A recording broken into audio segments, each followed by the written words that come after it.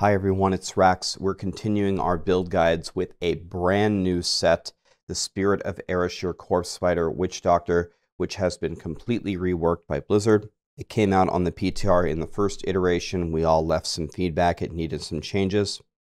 And now the set is much better. It's much more powerful. It's much more durable. And in Season 25, for sure, without a shadow of doubt, without really much difficulty at all, it will clear solo 150, so it will max out the game. This build is a very nice build if you're a newer player. If you haven't played the Witch Doctor in a while, it's very easy to play. It's very easy to gear for. Uh, there aren't any crazy in-depth mechanics, so this build dominates. Let's go over it for all you Witch Doctor players. You should be really excited to receive this brand new set. So the two-piece Summon a permanent Spider Queen connected to you by an infested thread. Enemies in the thread are infested. The attacks against infested enemies inflict the same damage to all enemies. The Spider Queen is commanded to where you cast your spiders. Corpse spiders now spawn with health. The corpse spiders now spawn with health means that they are targetable by enemies. And what that means is, is when you're walking into a room with all your spiders, it means that some of the monsters will attack your spiders instead of just all going for you, so they can act as meat shields for you. So what this means is we want to infest everything with the thread in order to deal maximum damage to everything around it. So essentially we're going to be like doing a merry-go-round. We're going to make a huge pull, we're going to do a merry-go-round, and we're going to throw spiders and just uh, dominate that way. The four piece, the Spider Queen leaves behind webs that last for 15 seconds. They slow enemies. Enemies are infested while on the web, so anyone on the web is automatically infested, and you take 75% reduced damage while on the web and for 4 seconds after. Stand in the webs, and you're going to survive. Enemies stand in the webs, they're going to die. And the six piece is our generic massive multiplier for our corpse spiders so we can deal major damage. So, Chewy has an amazing guide written on Maxroll for you. I'll post the link down below if you'd like to read the written version and go into a lot more detail here. But there's some fantastic news right off the bat for itemization for this build, which make it very easy to put together. Area damage works for corpse spiders, but it doesn't work in combination with the two-piece set where infested enemies take equal damage, which is what would actually make area damage valuable. So in other words, we just aren't really looking for area damage. And if we aren't looking for area damage, we might as well take zero. That way we don't lag the game. Okay, so area damage you don't need. That's good news.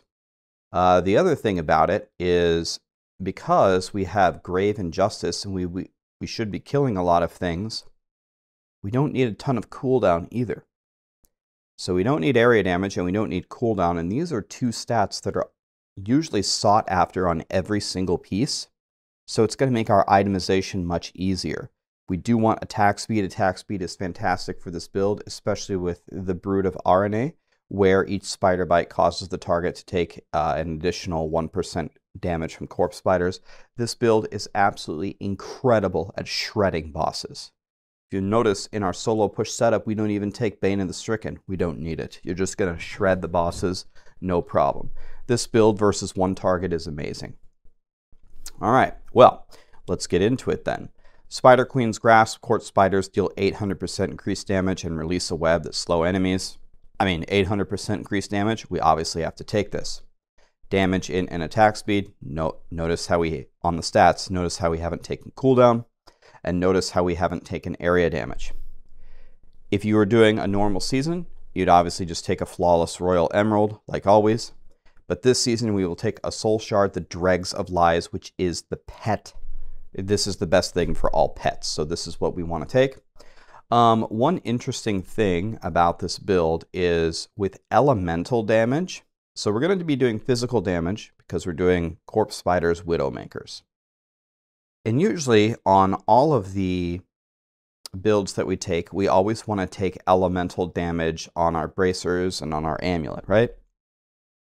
And this is no different because we have them here as well. But on the weapon, you do have a choice if you look on the second line. Do you see where it says plus 50% damage as one of the possible rolls that we're looking for when we upgrade the soul shard? Um, usually you want the elemental damage roll there because it gives you a, a massive power increase. However, we do not want it on this build. It's much better to take 50% damage because of Mask of Jeram. Pets deal 200% increased damage. These physical elemental damage rolls are merged with the 200% from Mask of Jeram. What that means is that physical elemental damage on this build is provides a much lower benefit than on other builds that don't have this multiplier where all of these physical rolls are lumped into. So when we compare like a 70 or a 75% damage or elemental damage roll on this weapon versus 50% damage, on this particular build, 50% damage is better.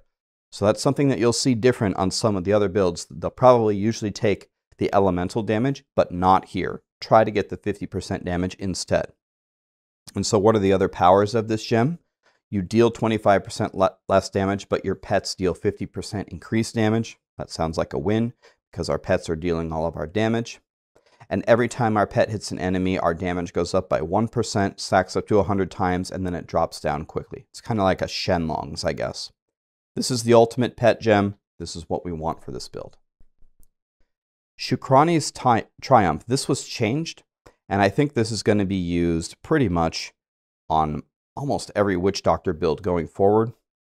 After the initial duration of Spirit Walk ends, it will continue to last until you attack three times or until an elite enemy is within 20 yards. Attacks while in the Spirit Realm deal 100% increased damage. So you deal double damage while you're Spirit Walking. Your Grave Injustice keeps resetting your Spirit Walk, and while you're Spirit Walking, you can't die. So this is amazing. You essentially just Spirit Walk merry-go-round around the monsters to spread the infested thread. And then you're just moving into the Oculus rings. You can't die and you're dealing double damage. It's amazing. Int, crit, elite damage, and corpse spider damage is what we're looking for here. On the boots, we need the full set, obviously. We want it, int, vite, all resist, and armor. For the pants, we want depth diggers. Primary skills deal 100% increased damage. Corpse spiders are primary. Free double damage on the pants. Can't beat it. Int Vit Corpse Spider, and we'll socket with intelligence. You can go for some survivability sockets if you want. If you want to go with either diamonds or rubies or emeralds for armor, um, any of that would work. Compass Rose, attack speed, crit, crit is what we're looking for. We'll take Bane in the Trap for the 60% increased damage. Uh, while you're moving around, you stay alive. While you're standing still, your damage can double. So stand still when you're safe, move around when you're scared. Ring of Emptiness, attack speed, crit, crit, simplicity, strength increases the damage of our primary skills by 100, doubles our damage. Again, Corpse Spiders are a primary skill, easy mode, and they're going to give us massive healing. So this build is amazing. We're constantly in the spirit walk realm. We have very good mobility. All the monsters are slowed. We have a ton of survivability from the set. The simplicity strength is healing us. I mean, well, yeah, life, life is pretty good here, quality of life. And our uh, non fetish pets are dealing 300% increased damage when they're affected by our locust swarm. No problem. We cast locust swarm. Problem solved. Brood of Araneae, corpse spiders deal double damage, and each spider bite causes the target to take an additional 1% damage from corpse spiders for 5 seconds. Kind of like our own Bane of the Stricken. So uh, we'll take that for sure. Int, Vit, Armor, and Corpse Spider damage is what we need. The gloves, Int, Attack Speed, Crit, Crit. On the shoulders, Int, Vit, area damage and cooldown. Again, if you don't want to take the area damage, you could consider taking it off to have zero. Um, but if you want to squeak out a little bit of extra damage, you could take that. If you don't want the area damage here, you could take armor, you could take life percent. It's up to you. On the helmet, int, vit, and crit. Um, normally in this socket, you could either take a diamond for a bit of cooldown, you could even consider taking an amethyst for a bit of life, but in Season 25, we will take the Sliver of Terror. Um, and what this does is whenever we have skills on cooldown, we're going to get massive survivability, 12.5% reduced damage, and we're going to get massive damage, 25 increased damage for every skill on cooldown. So essentially, just try to keep all of your skills on cooldown, and this gem in your helmet is just going to make you destroy everything. And then we can take the roll with the atta attack speed and the critical hit chance. Again, attack speed is amazing for this build, and the crit obviously is going to give us a big, big damage boost, and you're going to be destroying. I think one of the other options on this on this soul shard, if I'm not mistaken, is the Ring of Fire. You could get another copy of it with the Ring of Fire as well and mess around with that too. On the chest, we want int, vit, and armor. We'll sock it with topazes to deal more damage. Traveler's Pledge, physical crit crit. Again, uh, remember, the physical damage rolls aren't as good, so if you find a Traveler's Pledge with like attack speed crit crit or average damage crit crit, it's not as bad as it is on some other builds. We'll take Enforcer here. The damage of our pets is increased. Easy mode. And finally, Lakumba's ornament. We, we want physical, int, vit, crit. Reduces all of our damage taken by 60% if our soul harvest stack is at least at 1. And we get an additional 2% for each stack of soul harvest. This was buffed this season, so it's giving witch doctors even more survivability. Now let's look at the skills. Horrify, frightening aspect is going to give us 50% additional armor. After we use it, it's going to give us another skill on cooldown, by the way, for our gem. Piranha's Piranhado is going to gather everything up. Enemies are going to take more damage, and it's going to help us infest them much easier and burn them down. Locust Swarm is required to activate our Ring of Emptiness, and we will take Cloud of Insects so they deal 25% reduced damage. If you find that you're completely immortal, you could probably take Pestilence as well, which would just spread it everywhere for you. Spirit Walk Jaunt is needed so we can deal massive damage from our Shukrani's Triumph. This is going to keep us alive, and Jaunt is going to let us deal more damage because it's going to increase the duration of it. It's going to give us higher uptime on this 100% increased damage because remember, this, this cooldown of attacking three times or when an elite is around you only starts after the initial duration of Spirit Walk ends the initial duration. So Jaunt increases the initial duration, giving you more damage. Soul Harvest Languish is going to keep us alive, and it's going to increase our armor by 10% per harvested enemy, and it's going to reduce their movement speed. And finally, Corpse Spiders, we obviously need this. Widowmakers is the rune of choice. It does the most damage. Other people were using Leaping Spiders. I tried them both, and I like Widowmakers a lot more. One of the biggest problems that I have is the spiders moving everywhere. I want them just to stay still and attack who I want them to attack. So I think Widowmakers is the choice here. Pierce the Veil is going to give us more damage. The increased mana cost don't hurt us at all. Confidence Ritual, you deal 25% increased damage to enemies that are close to you. We can hang out right by them, we'll be fine. Grave Injustice, as we already talked about, resets all of your cooldowns. And Swampland Attunement is going to help us stay alive. Echoing Fury is going to give us attack speed and movement speed from slaying enemies. Attack speed is amazing for this build. Mask of Jeram, our pets deal 200% increased damage. Talked about this earlier. It's an awesome multiplier, but it's lumped in with your other physical elemental rolls. And Ring of Royal Grandeur allows us to complete our set while using both Depth Diggers and Mask of Jeram.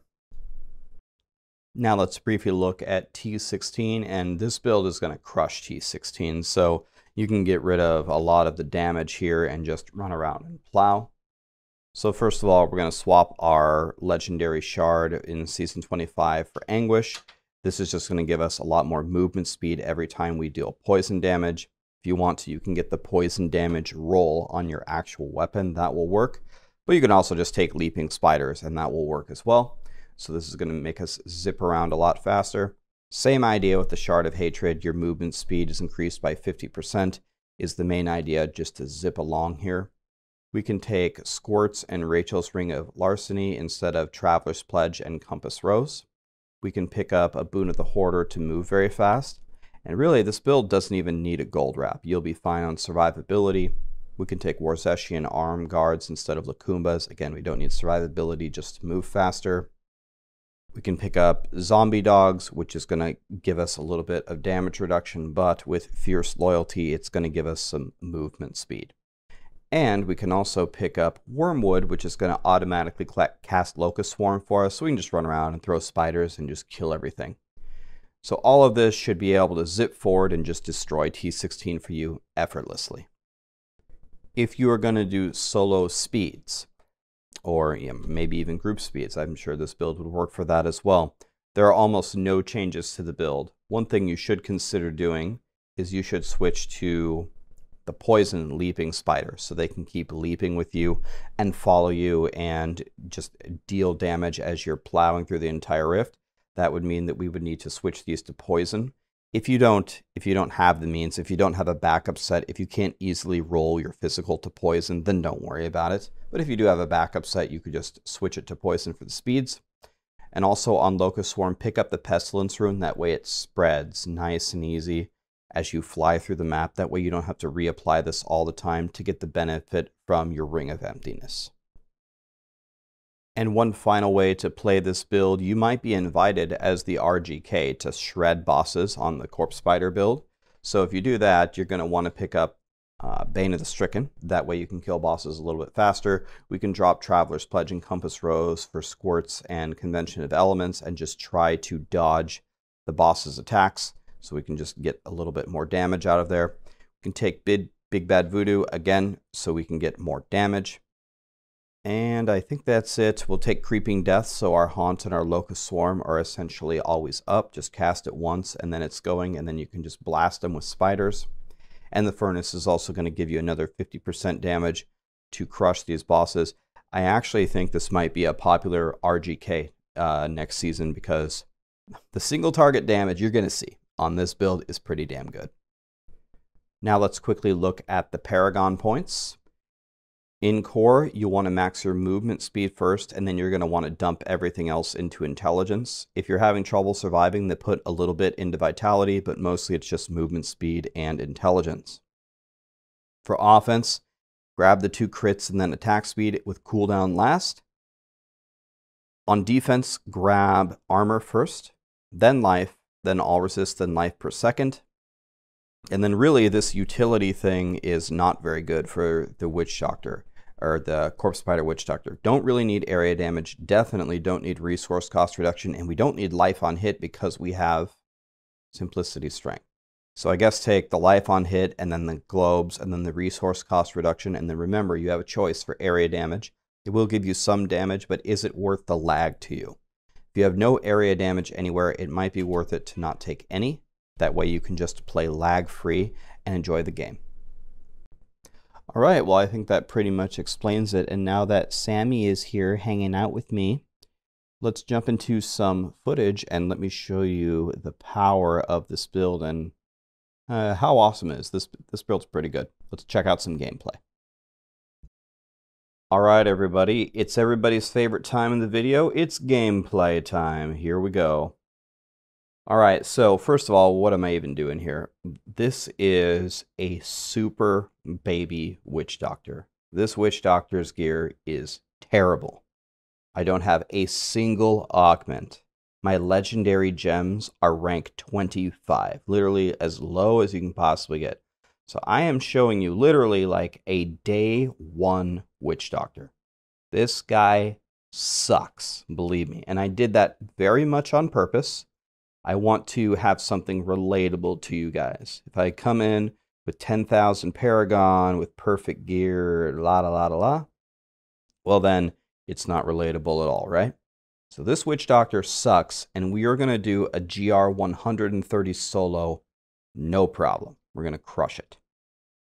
All right, so what are we doing here? You spirit walk forward to where you find a very nice place that you want to fight. Then you cast your locust swarm. It's going to spread everywhere. and that is going to activate your Ring of Emptiness. Then you can use Piranhas to gather them all up.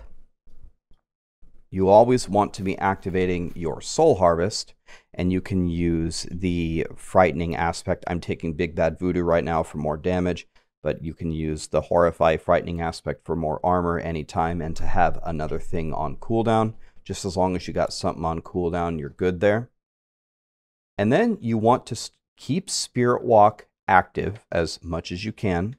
Because remember, you deal more damage while you're in the Spirit Walk realm from Shukrani's Triumph. And then you throw Corpse Spiders.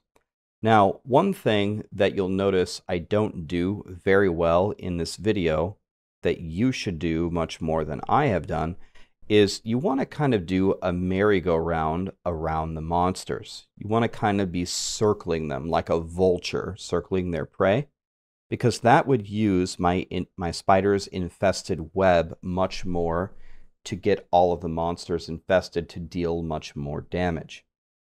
So that's probably the biggest critique of my gameplay here and how you could squeeze more damage out of this build.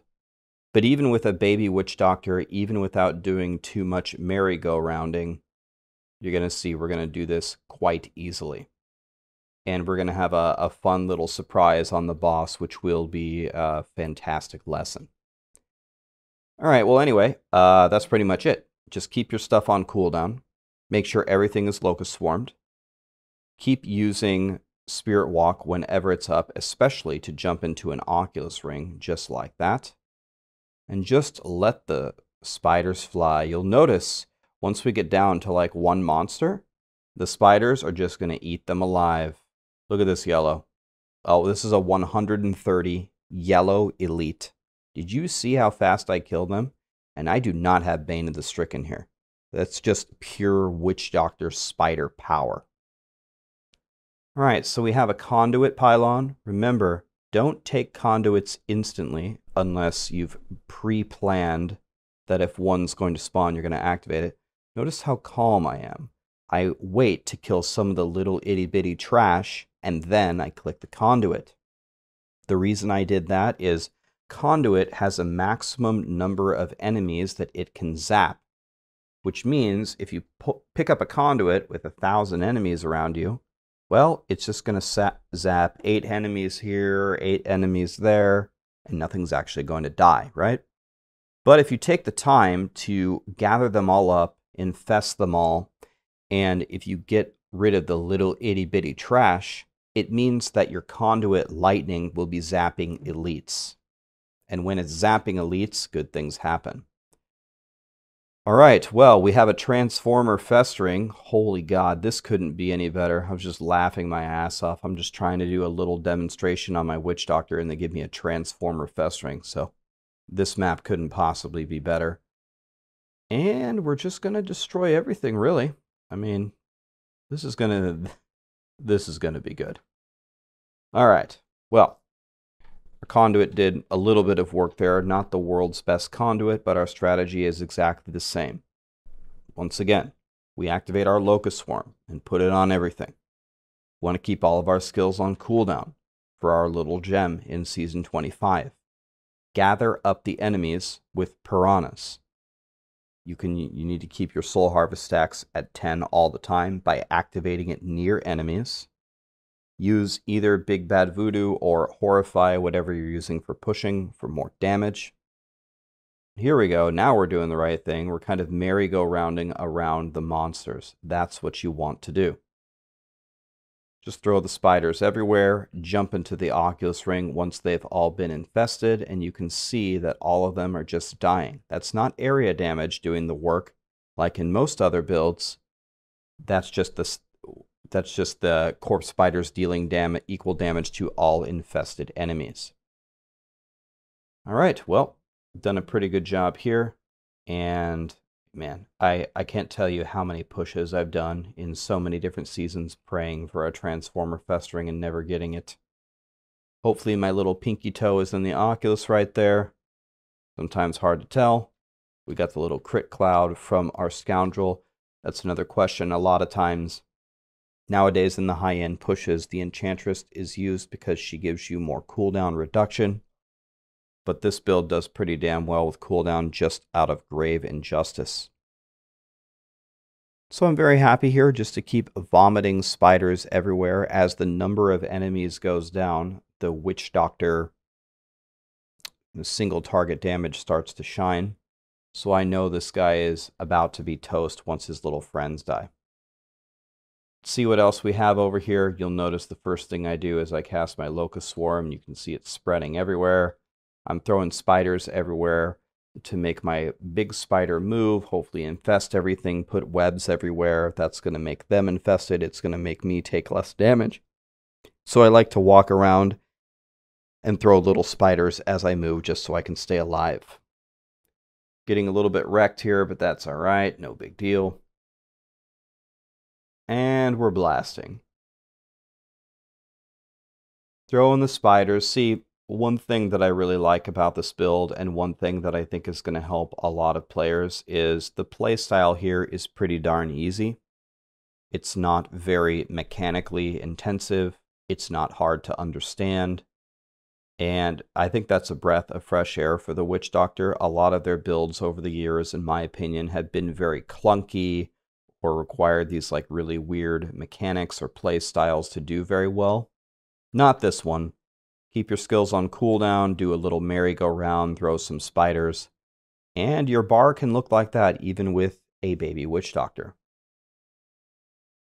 So, forward we go, pulling everything, and uh, if you've noticed, I haven't really been in too much danger at all. Haven't really uh, had too much survivability issues. So we're just going to pull everything. And the fact that I'm uh, was at least attempting to walk around all the monsters was good news. See the little spider connected between me and our friend. And another thing I think I guess you could do is you could stand in the middle and throw your corpse spiders in a merry-go-round around you, which would move your big spider around. That's probably not as effective as the other way, but that's probably another consideration and way to play maybe people as this as this build becomes more solved will find more interesting ways to play with this particular set and might find some really good tactics here that just dominate. But we're already dominating pretty good just like this. Pretty happy with this, so these monsters are worth a million, so I'm happy just to chill here and just watch them slowly die. The blues will die eventually. I'm not worried about it. They're already at half health. And again, if you actually really pump up your Witch Doctor, if you get perfect rolls on everything, if you actually level up your gems beyond level 25, um, yeah, you, you're you're gonna dominate. It's uh, it's a very very good build. All right, so and by the way, I guess while we're at it, we should give a little bit of credit to Blizzard, right? They did a very nice job very nice job uh, rebalancing this set. I played it. I played it in the first round of the PTR, and I was like, "Ah, uh, this thing has got some issues. Can we uh, make some changes?" They took that feedback and other people's feedback to heart. They made some significant changes to how this build works, and it, it's just so much better. So, props to Blizzard. They've been putting out some pretty good stuff. Some pretty good stuff lately. last couple of seasonal themes have been good. Some of their reworks have been quite quite good. They they're doing a good job over there. It it really has to be said. I wish D3 would have launched like this in the beginning. It would be a much more popular game than it is now. It's okay though. We're bringing it back, and uh, hopefully it's good news for Diablo 4. Now, when this boss spawns, I I want I want you to pay attention to something very carefully. Saxtris spawns ads at 75% health.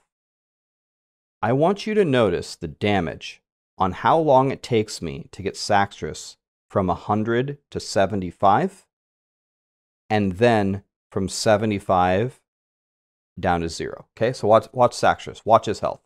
Me versus Saxtris. Here we go. Watch his health. I do not have Bane of the Stricken in this build. Look at this. He's getting shredded. Look at him. But now here come the ads. I locust swarm them. When they step on the web, they should be infested. But yeah. Look at my damage to Saxtris now.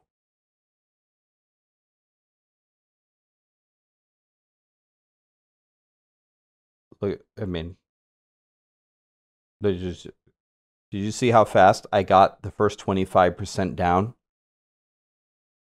And how bad it is when the ads spawn. Now, one thing I could be doing a little bit better, again, is I could be doing a little bit more merry-go-rounding. That would be good, and that would be better, and I should have done that. Because some of these ads are not getting hit. When they come into the middle and they get on the webs, they will be automatically infested. But the fact that my spiders are running everywhere and I have to run around everywhere to infest them all to deal equal damage, and my spiders are really, if you watch the spiders themselves, look at the spiders, they're just not attacking Saxtris. There's so many other ads that even if I throw them on Saxtris, they will run around and attack whoever they want.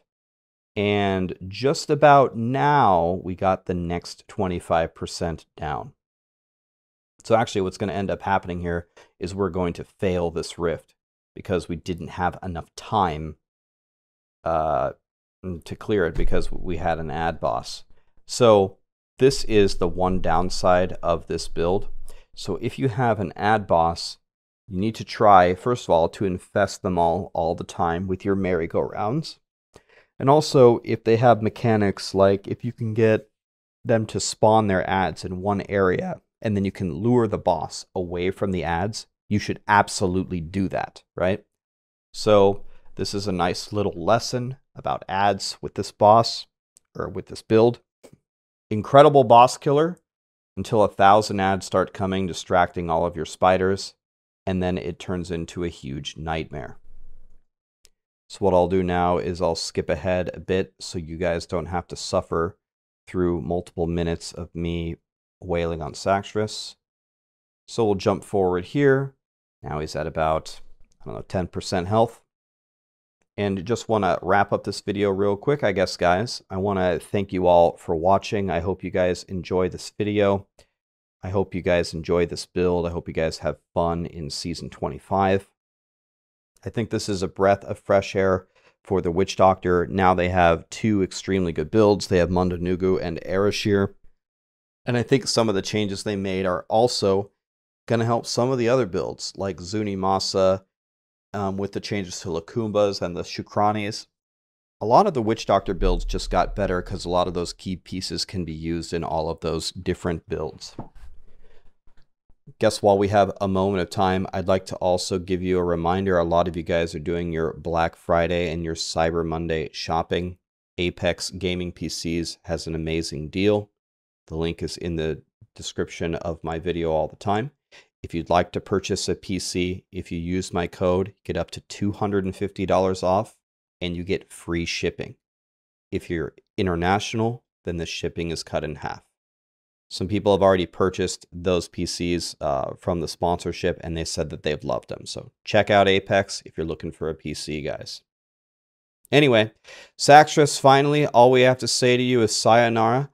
Love you guys. I hope you guys like this guide. Let me know your feedback in the comments section. And witch doctors are on the rise for sure. The tier list is coming very soon, and we'll see exactly where they end up. But uh, witch doctors are, are going to be pretty damn good. Thanks, guys.